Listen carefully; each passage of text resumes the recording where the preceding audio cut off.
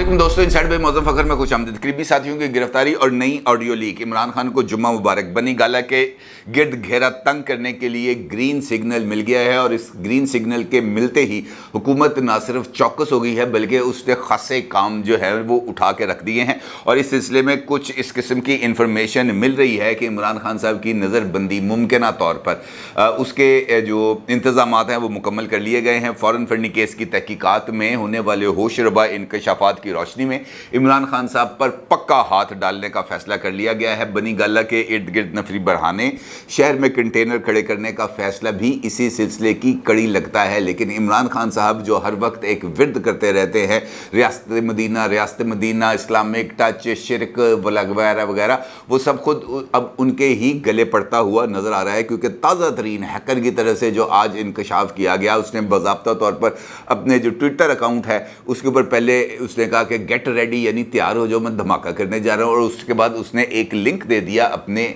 जो Twitter account है, उसके ऊपर के जनाब ये धमाका आपकी खिदमत में हाज़िर है। इमरान खान साहब के लिए ये एक खुशगवार किस्म का एक तोहफ़ा है जो मैं उनकी उनकी खिदमत में पेश कर रहा हूँ। और वो फिर तोहफ़ा उसके बाद पूरे पाकिस्तान में वायरल हो गया और हर एक बंदे ने देखा कि किस तरीके से इमरान खान साहब जलसों पर खड़े होकर ज़मीर फरोशी के ऊपर भाषण देते थे, मंडियाँ लगने के ऊपर तनकीद करते थे।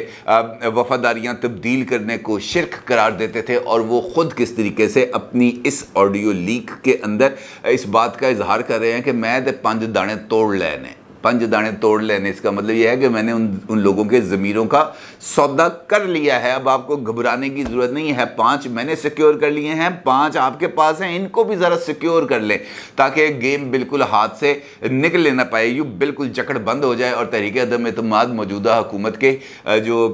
इकतदार में आने का सबब बनी थी, वो उसी तरीके से नाकाम हो जाए। आपने यकीनी तौर पर ऑडियो लीक्स जो इमरान खान साहब की आई हैं, यकीनी तौर पर आपने देख भी ली होंगी, क्योंकि वो सोशल मीडिया पर बहुत ज़्यादा वायरल वायरल है। और अगर इन ऑडियोज़ को देखें तो मुझे इस बात का एहसास होता है कि ये बुनियादी तौर पर दो ऑडियोज़ हैं। पहली ऑडियो जिसके अंदर इमरान खान साहब ये कहते हुए पाए जा रहे हैं कि आपको बड़ी गलत फहमी हो गई है जनाब, अब नंबर गेम पूरी हो गई है, ये नंबर ऐसा नहीं है। ऐसा मत सोचें, सब ख़त्म हो गया। अब से लेकर 48 घंटे is a long long time इसमें बड़ी चीज़ें हो रही हैं। मैं अपनी तरफ़ से भी कुछ चालें चल रहा हूँ, जो हम पब्लिक नहीं कर सकते। पाँच को तो मैं ख़रीद रहा हूँ, पाँच मेरे पास हैं। मैंने मैसेज देना है आपको कि वो जो पाँच मेरे पास हैं, वो बड़े अहम हैं। इसको कहें कि अगर वो हमें पाँच सिक्योर कर देना, वो वाला दस हो जाएँगे। तो ये गेम हमारे हाथ में आ जाएगी। ये वाला जो हिस्सा है उनकी गुफ्तु का, मुझे ये लगता है इस ऑडियो को सुनने के बाद ये इमरान खान साहब की किसी मजलिस के अंदर होने वाली गुफ्तु नहीं है, किसी बैठक के अंदर होने वाली गुफ्तु नहीं है, बल्कि ये इमरान खान साहब ने किसी शख्सियत को एक व्हाट्सएप मैसेज किया है, शायद वॉइस मैसेज है, क्योंकि ये जितनी क्लैरिटी के साथ इसकी आवाज़ आ रही है, उससे ये लग रहा है कि ये फ़ोन जो है मुँह के बहुत पास था और वहाँ से इमरान खान साहब ने जो है वो अपना ये वॉइस मैसेज रिकॉर्ड किया और वॉइस मैसेज रिकॉर्ड करके जिसको उन्होंने कहा था कि पाँच तुम सिक्योर कर दो उसको उन्होंने वो मैसेज भिजवा दिया। अलबत् अगर आप इस ऑडियो को एक मरतबा दोबारा सुने तो इसका जो दूसरा हिस्सा है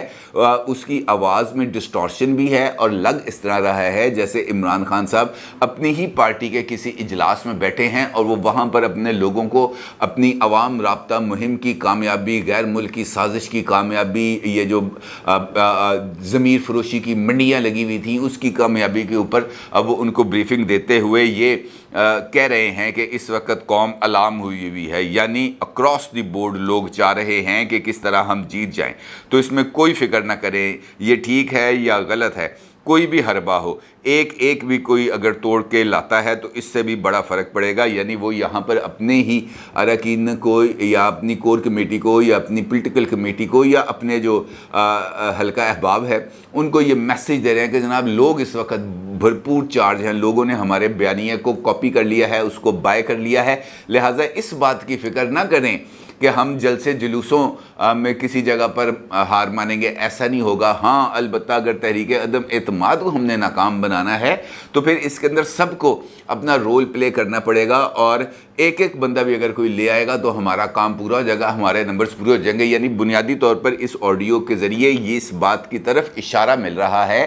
कि ये ऑडियो तहरीक अदम अतमाद के अरसे के दौरान ही है। और अगर मैं आपको वापस उसी टाइम में ले जाऊँ, यानी लास्ट वीक ऑफ़ फेबररी और मार्च का जो महीना है, जिसके अंदर ये सारा बिल्डअप हो रहा था तो उस दौरान बहुत सारी ऐसी खबरें मंजर आम पर आ रही थी, जहाँ पर इमरान खान साहब अपने जो अरकान असम्बली हैं, उनके साथ भरपूर तरीके से मुलाकातें भी करते थे, पार्लियामेंट में भी आते थे और आके प्राइम मिनिस्टर चैम्बर में भी बैठते थे, वहाँ पर लोगों से मुलाकातें भी करते थे और उस वक्त शेख रशीद जो वज़ीर दाखिला थे और दीगर लोग ये बरमला इस बात का इजहार करते हुए पाए जाते थे कि जनाब फ़िक्र नॉट, फ़िक्र करने की कोई ज़रूरत नहीं है। ये अगर सदक संजरानी साहब के ख़िलाफ़ तरीके अदम अतमाद कामयाब नहीं करा सके, यूसफ जक गिलानी को अक्सरियत होने के बावजूद चेयरमैन सैनट नहीं बनवा सके तो ये इमरान खान साहब को भी नहीं हटा पाएँगे।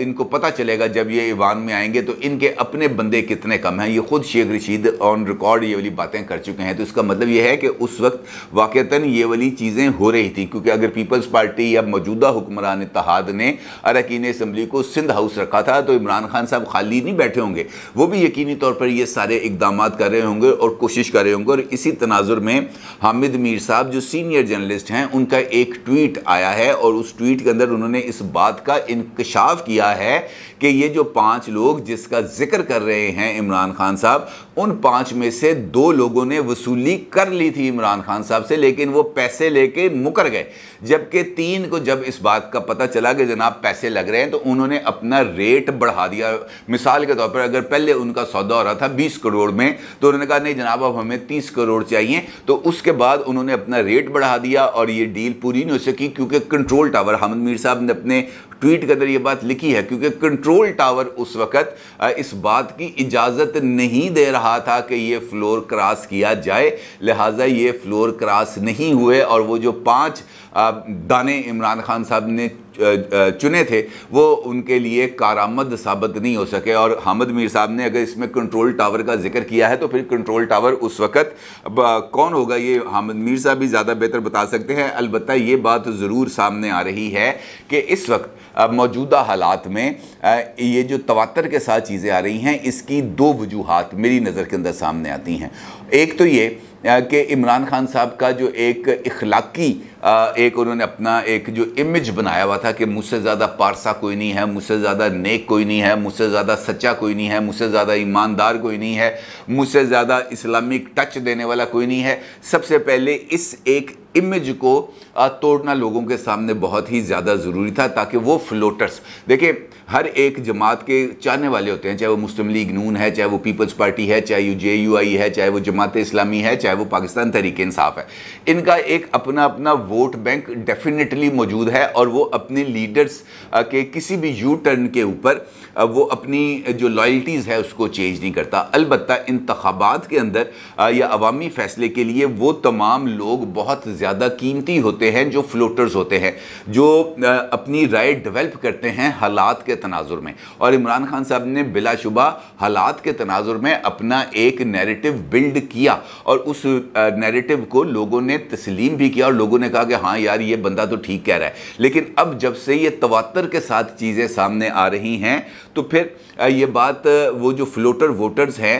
उन तक भी पहुँच रही हैं और वो अपनी राय को इस इस ऑडियो लीक्स के ज़रिए या जो नैरेटिव अब बनाया जा रहा है हुक्मरान इतिहाद की तरफ़ से, वो वहाँ से उस फ्लोटरिंग वोट्स जो इमरान खान साहब की तरफ़ गए थे, उनके टूटने का भी इम्कान पैदा हो गया है। लिहाजा ये जो गेम है, अब ज़्यादा आगे बढ़ती हुई नज़र आ रही है और यही वजह है, अगर आप गौर करें तो यही वजह है कि इस्लामाबाद हाई कोर्ट की अंदर जो कल समात हुई थी, वहाँ पर पाकिस्तान तरीके इंसाफ ने बिल्कुल एक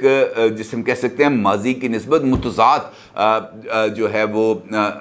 इस्तदा की थी इस्लामाबाद हाई कोर्ट के सामने। क्योंकि पहले तो वो ये कह रहे थे कि जनाब इसम्बलियों का दरवाज़ा बंद है और कल तो इस तरह लग रहा था कि वो इसम्बलियों में जाने के लिए जो है वो तुले बैठे हैं और अदालत भी ये कहती है कि जनाब आप बयान हल्फी दें, हम आपको अदालत में भेज देंगे, हम आपको पार्लियामेंट में भेज देंगे। तो इसका मतलब यह है कि कोई एक ऐसा ऑप्शन या प्लान भी इमरान खान साहब के पास मौजूद है और वो उसको किसी मुनासिब वक्त पर इस्तेमाल करना चाहते हैं, क्योंकि 16 अक्टूबर को इसी जिमनी इंतबात के लिए पोलिंग की डेट है। और जो इशारे मिल रहे हैं, वो इसी सिमत में की तरफ़ इशारा कर रहे हैं कि इमरान खान साहब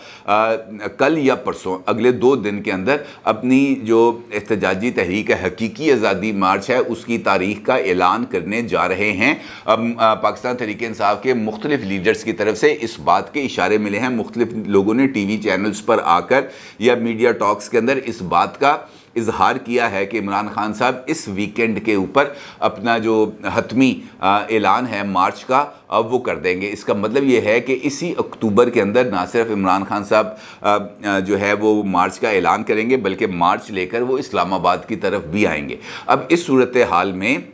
जो हुकूमत की तरफ़ से तैयारियाँ हैं, वो इन गिरफ्तारियों के ज़रिए सामने आ रही हैं, क्योंकि आज सुबह का आगाज़, मैं आपसे गुफ्तु के आगाज़ में कहा था ना, जुम्मा बखैर, सुबह का आगाज़ हुआ, तारिक शफ़ी साहब के घर पर एफ़ आई ए के छापे से रेड डल गई तारिक शफ़ी साहब। और ये वही तारिक शफ़ी साहब हैं, जिनके अकाउंट के अंदर पैसे आए थे वूटन क्रिकेट लिमिटेड की तरफ़ से, वो आरिफ नकवी साहब, इबराज ग्रुप वो, उन्होंने जो पैसे किसी अरब शहजादे से लिए थे, वो पैसे वूटन क्रिकेट की से आए थे पाकिस्तान और वो आए थे तारिक शफ़ी साहब के अकाउंट में और उसके साथ साथ जो मुख्तलिफ़ अकाउंट्स हैं जिन पे एफ़ आई ए ने तहकीक़ात की हैं, उसमें सैफुल्ला न्याजी साहब हैं, जो इमरान खान साहब के कज़न हैं और उसके साथ साथ हामिद जमान साहब हैं जो पाकिस्तान तहरीक इंसाफ के बानी कारकुनान में उनका शुमार होता है। लिहाजा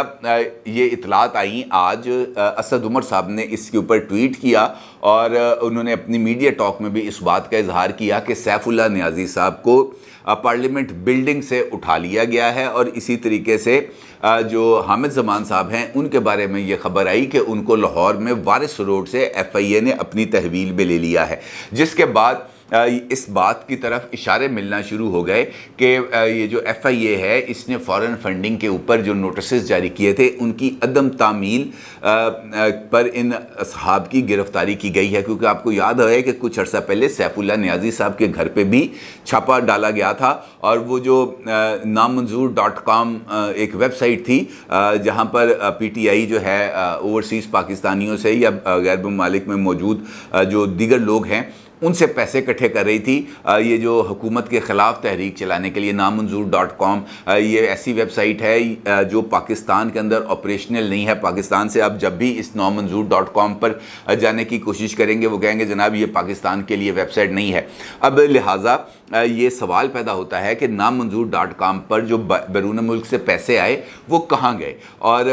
उन पैसों का इमरान खान साहब ने क्या किया? क्योंकि अगर जलसे जुलूस तमाम तर ज़िले की आदत ने करने हैं तो नामंजूर काम करने के लिए जो पैसे आ रहे थे, वो किधर जा रहे थे? इसके साथ साथ सैफुल्ला न्याजी साहब भी बहुत सारे बैंक अकाउंट्स के अंदर सिग्नेटरी भी हैं। और जिस वक्त ये सारा फॉरेन फंडिंग का मामला चल रहा था अदालत में यानी जिस पीरियड के दौरान कई तहकीकत हो रही थी, उस पीरियड के दौरान सैफुल्ला न्याजी साहब, पीटीआई के एक अहम अहदेदार थे और मेरा ख्याल है उस वक्त उनके वो फिनांस सेक्रेटरी थे। लिहाजा उनके, उनसे इस सारे मामले के ऊपर सवाल करना बनता है। लेकिन चूँकि पाकिस्तान तहरीक इंसाफ को इस बात का यकीन है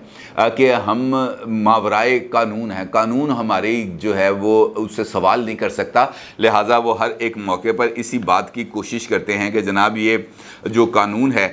ये इस ये हमारी गर्द को ना पा सके। लिहाजा फौरी तौर पर ये वाला जो मनसूबा है, इसका आगाज़ हो जाता है। सोशल मीडिया पर कि फ़लान उफड़ लिया, फ़लान फड़ लिया, फ़लान उफड़ लिया।